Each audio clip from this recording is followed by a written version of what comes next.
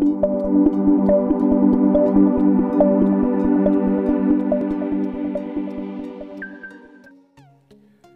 guys, my name is Abuzar. Today I will tell you how to perform division in assembly language.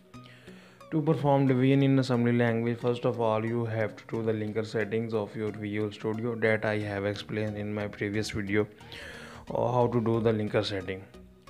Then uh, we will use two registers in this video to perform division and opcode of div to uh, perform division.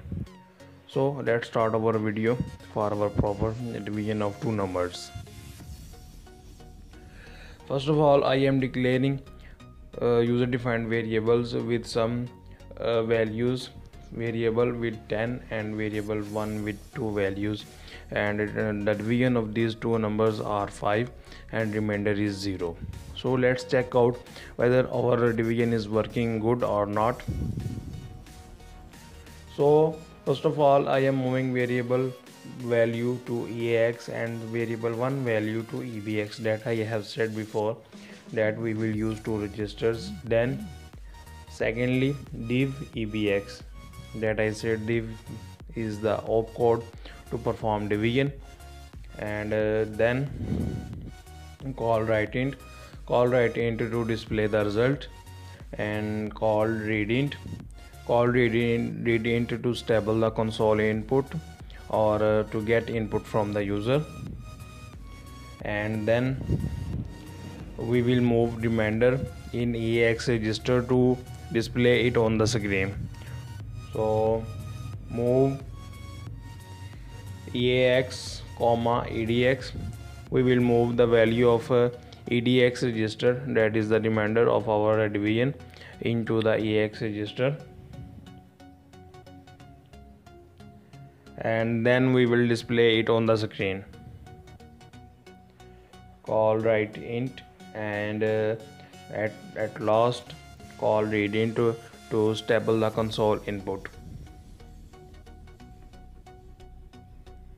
and move ex comma edx uh, to uh, to print the remainder of uh, our division. As i said before the remainder of the hours of this division will be stored in the edx register and we will print it out later by using call writeInt and at last call readInt so let's execute as you can see on our screen the console screen is displayed and uh, it is displaying nothing. As of the working working speed is already depend on your laptop speed. So a little bit slow performance here.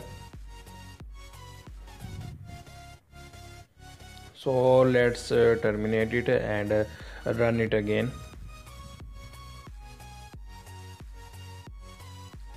I think we have to wait for a few seconds.